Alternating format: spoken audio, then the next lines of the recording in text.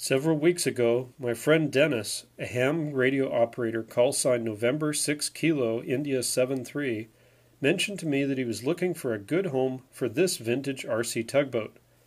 It had belonged to a fellow ham, Richard L. Hathaway, Jr. of Coronado, California, who I understand has since passed away. I quickly expressed interest, and before I knew it, Dennis had come to visit and brought it with him. He explained that it was a 70s vintage boat but didn't know much else about it. For a few days I was too busy to do much with it, but then I got to work on the restoration. It came with some pretty interesting equipment, such as this customized period control system with twin motor controls, steering knob, analog voltmeter, and power switch lockout lever. This was presumably the charge port, and it supposedly operated on 53 megahertz. It came with this charger, which was most certainly a later addition, and these batteries, which turned out to no longer hold a charge. It was mostly complete, but was a bit neglected, with some parts damaged.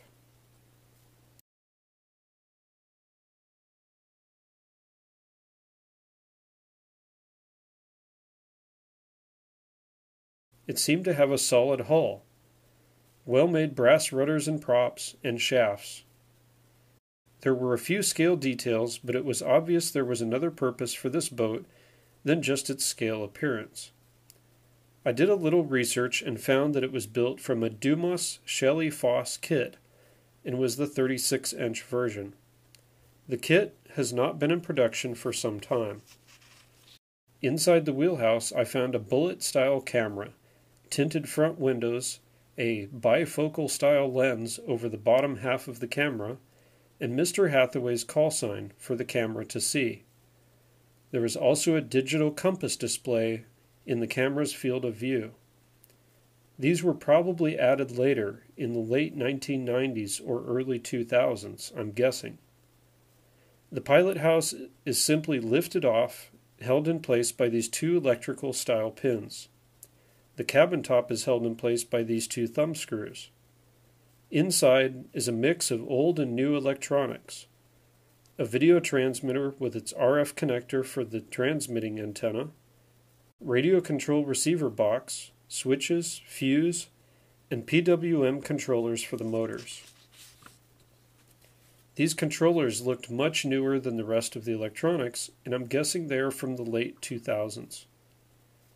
The cabin and deck lifted up, revealing the inside of the hull, in which were located the steering linkages, steering servo, a mysterious micro switch that is only activated when turning left, the shaft logs, U joints, electric motors, lead ballast blocks, and a shelf where the electronic compass board had been located.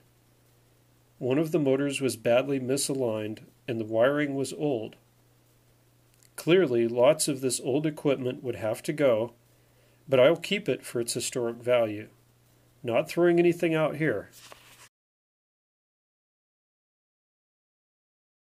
After hooking up an external PWM controller to the motors, it was clear they were in excellent condition and would stay. After making some adjustments to the motor alignment, they both ran smoothly.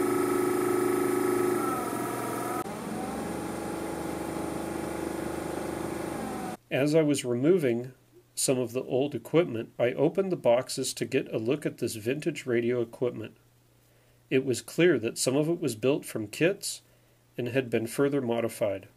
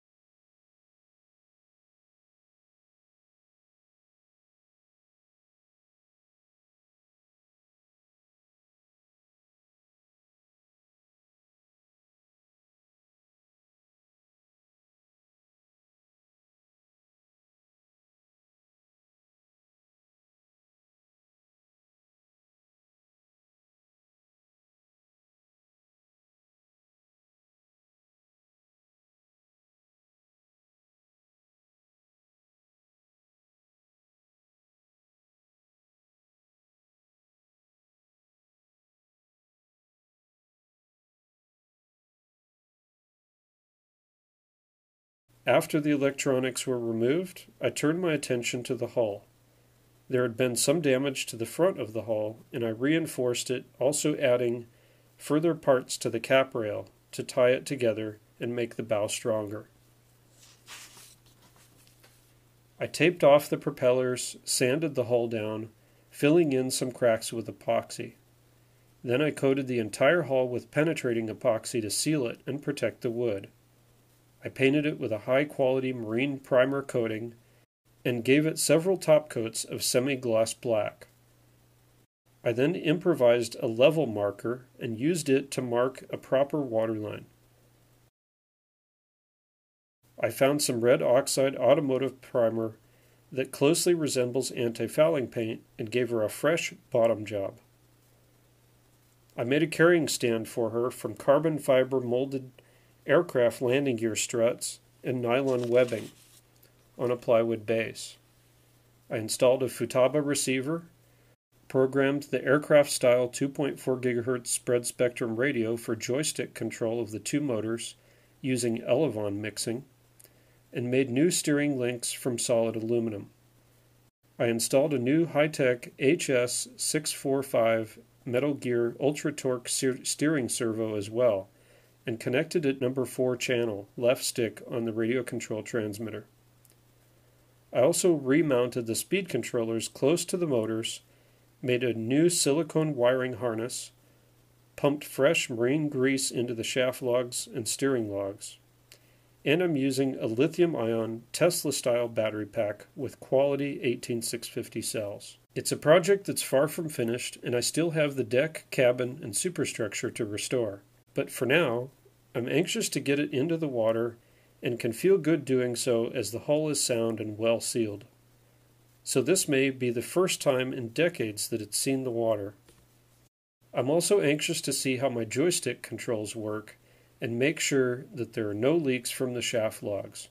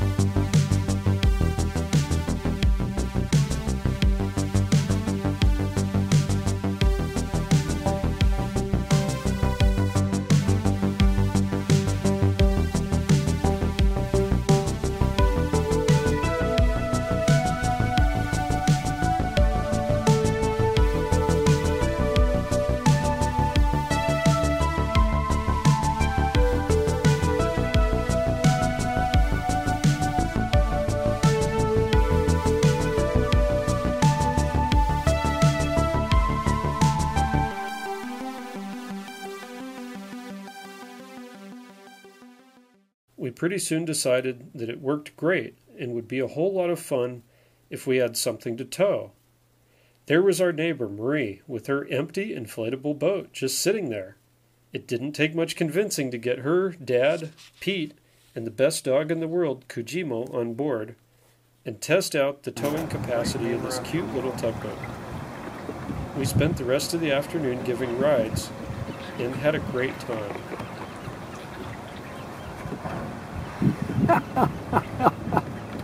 Do it. Yeah. We're not, we're not even near full power.